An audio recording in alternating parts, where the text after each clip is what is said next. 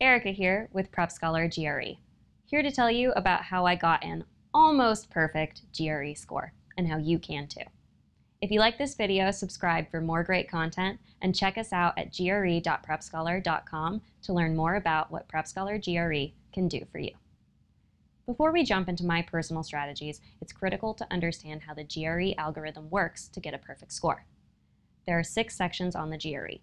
The essay section, two 20 question verbal sections, two 20 questions quantitative sections, and one 20 question experimental section, which may be either verbal or quantitative, or instead of the experimental section, a research section. The essay section and experimental section or research section do not count toward your total score. This means you can totally bomb either one and still end up with a perfect score. The essay section is recognizable and will always come first. Similarly, if you get a research section, it will come at the end of the exam and be preceded by information that indicates the section will be unscored. However, the unscored experimental section looks just like any other verbal or quant section and can come at any point in order. This means that if you get an experimental section, you will not know which section is experimental and won't count toward your score. We'll talk more about this later in the video. So the two scored verbal and two scored quant sections are the only sections that count toward your total score. The first section of each type is the same difficulty for everyone. The questions are preset, meaning you can skip questions and come back to them. Again, more on this later. Depending on the number of questions you get wrong and right on the first section, you will get one of three second sections, an easy second section, a medium second section, or a hard second section. While the section you get will vary, like the questions in the first section, the questions in the second section are preset. So once again, you can skip questions and come back to them. Now for scoring. We start with a raw score for each section, so the number of questions you got right. Then, your score on each section is scaled based on the difficulty of the second section. In essence, answering a hard question right gets you more points than answering a medium question right, which in turn gets you more points than answering an easy question right. Finally, slight adjustments are made to account for variations in difficulty across different versions of the test. Now, no one outside of ETS knows exactly how this raw to scaled score conversion works out, but from the data we've been able to gather, there isn't much room for error if you're aiming for a perfect score. For verbal, you may be able to miss a single question across the two sections and still get a perfect score. Quant is even less forgiving, it doesn't appear that you can miss any questions and still get a perfect score. So what does this indicate about my scores? I got a 170 on verbal. So because verbal is typically more forgiving than quant, there's a good chance that I missed one question across the two sections and still got a perfect score. Now for quant, I got a 169. That indicates that I must have missed one question somewhere on the two scored quant sections. However, for both verbal and quant, I must have scored high enough on the first section to move on to the hard second section. I also got a third experimental quant section, which I do not think went very well. More on that to come. Additionally, I completed the essay, which I got an adequate score on, but didn't prioritize. Neither of these impacted my total score. On to strategy. Getting a perfect GRE score relies on two things, good study and good test day strategy. We'll start by focusing on study. Like most standardized tests, the GRE uses math, vocabulary, etc. as a foundation to test higher level skills. So critical thinking, the ability to recognize the most important information in a sentence or passage, identification of assumptions and edge cases, you know, the things that are important to graduate schools, future employers, etc. This means two things. First, your content knowledge must be at 100%, especially for quant. The content isn't ever the most difficult part of a question, but it is necessary to answer the question. Like we mentioned earlier, to get a perfect score, you may be able to miss one question. And that's only a maybe. Your best bet is to get every single question right. This means that you can't have any gaps in your knowledge. If you are somewhat weak on your solid geometry or sometimes forget your permutations formulas, you're gambling with your shot at a perfect score and doing yourself a major disservice. Second, because GRE questions are testing more than just content knowledge, we need to be thinking critically for every single question. There are too few questions on this test to waste any on simple, straightforward calculation. Each problem is going to have something more to it that you'll need to identify in order to solve. Having analyzed and written hundreds of GRE style questions myself, I had a bit of an advantage here. I know how these questions are constructed and can often instantly recognize the tricks that the test makers like to put into different types of problems. However, you can apply these same principles by asking, what's the trap, on every problem you encounter. So rather than trusting that you got the correct answer on your own, consider what the test maker wants you to do. What do they want you to forget? What do they want you to mix up? What false shortcut do they want you to take? A good principle to take to heart. If the problem is easy right off the bat, you're probably missing something. This attitude will help you avoid traps on test day, but it will also help make your practice more effective. As you analyze more and more problems through the what's the trap lens, you'll learn a secret. That the folks who write these questions, myself included, aren't very original. You'll start to see the same types of traps over and over again and learn which types of problems lend themselves to different traps. This is the most empowering thing you can have on any standardized test the ability to deconstruct problems, notice the traps laid for them, and then intentionally avoid them. So, how can you most effectively get your quant abilities across both content and strategy up to speed? Focus on high quality study over high volume study by maintaining an error focus. Taking a practice test and drilling practice problems is good prep, but the most effective prep comes afterward in careful review of problems you missed, skipped, or guessed on. It isn't useful to drill more problems if you're going to make the same mistakes all over again. If you make a mistake, you first want to identify why the correct answer is right and why your answer is wrong. But we can't stop there. We also want to analyze what mistake you made, why you made that mistake, and how to avoid that mistake in the future. So you're analyzing the problem, but you're also analyzing yourself, your approach, and your weaknesses. Now, sometimes it's just a content fix. Maybe you just need to review your exponent rules. But most often, it's a more far-reaching failure in process, something that could crop up in multiple problems. A computation error may be caused by a lack of effective scratch paper strategy. Reading the question wrong may be caused by allocating too little time to the question stem interpretation before jumping into solving. Picking an answer choice that isn't supported by the passage may be caused by a failure to predict. Not picking D on quantitative comparison may be caused by not considering zero as a possible edge case, and so on.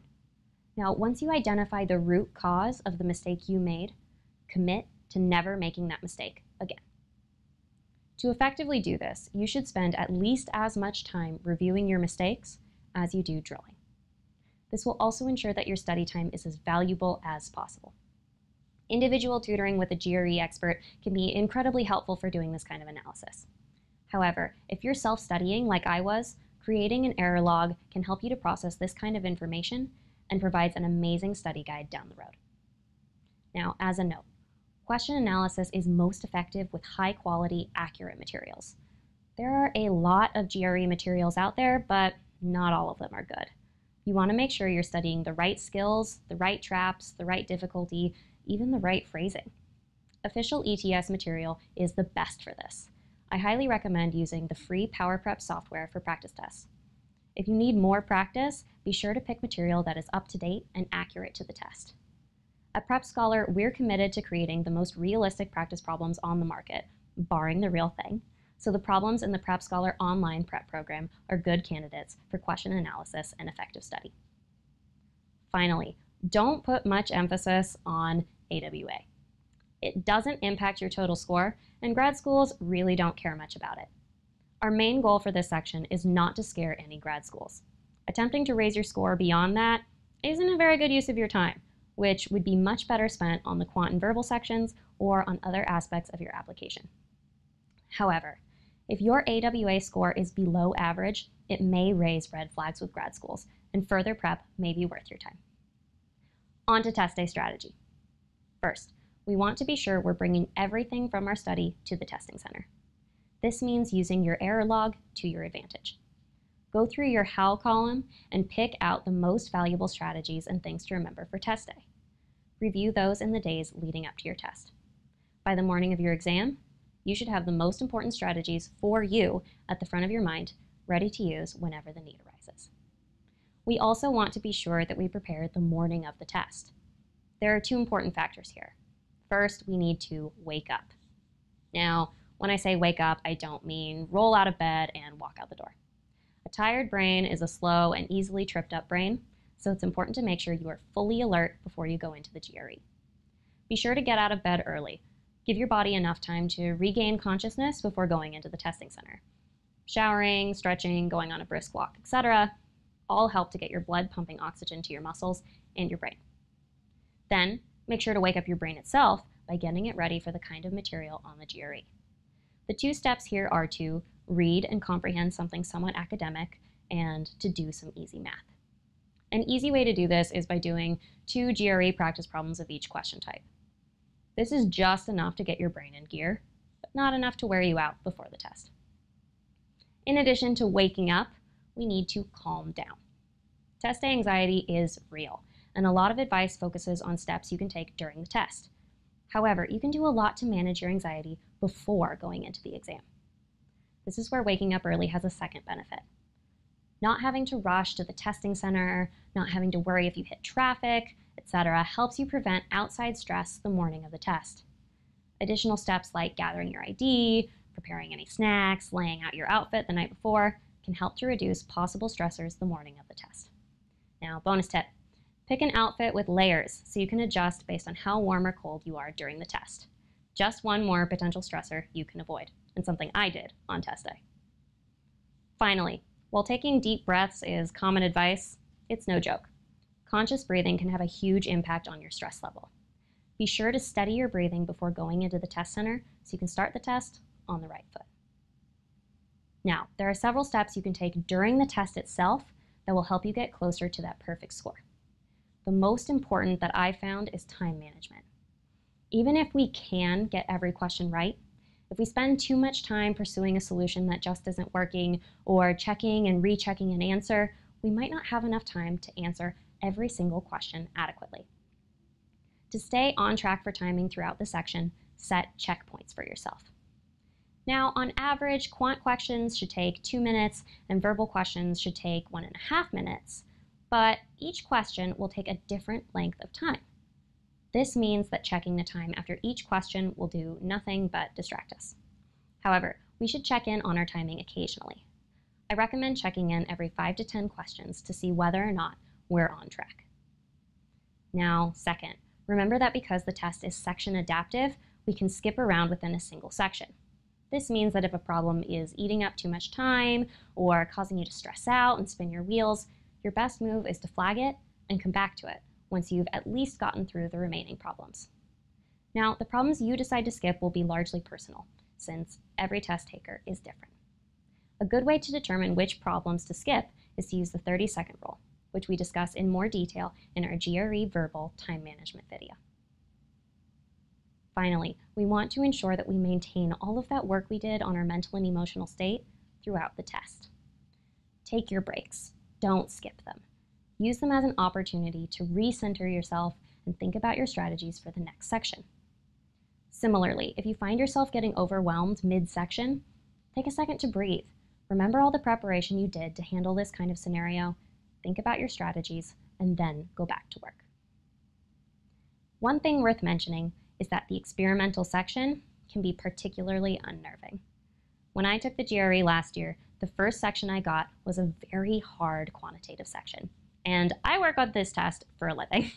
It really freaked me out that I was getting questions that I wasn't prepared for, and I was convinced that I missed quite a few. Reflecting on it now, I realized that this was likely the experimental section. Either that or my perception of the section was way off the mark. The anxiety that I felt coming out of that section could have easily caused me some points, but I made sure to keep a good, forward thinking attitude as I moved through the sections. So, if you find a section particularly hard, do your best, and once the section is over, put it behind you. If it was a scored section, there's nothing you can do about it at this point, so there's no use in dwelling on it. It'll only hurt your performance moving forward. If it was experimental, it didn't matter anyway. And that's how I got an almost perfect GRE score. To recap, understand how the algorithm works. If you want a perfect score, you'll be getting the hardest questions the test has to offer in the second section, and you may not be able to miss any of them. Improve the value of your study by building a solid foundation of content knowledge, using what's the trap to figure out what questions are really testing, staying error focused to ensure that every mistake is a learning experience, and not emphasizing AWA. Improve your success on test day itself by focusing on strategy leading up to the exam, doing morning of prep, and using time management and mindfulness to stay on target during the test. Thanks again for watching, and feel free to check us out at gre.prepscholar.com for more great GRE content. See you next time.